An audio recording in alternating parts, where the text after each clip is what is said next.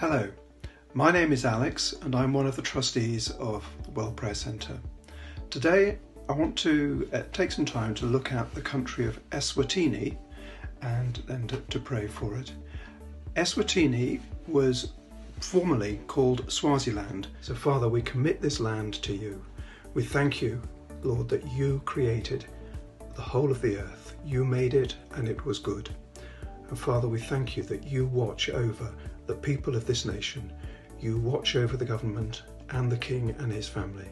And Father, we lift them to you and ask, Lord, for your judgment, your righteousness to prevail in that nation. Lord, would you give the king and his family and the government wisdom to know how to deal with the current unrest.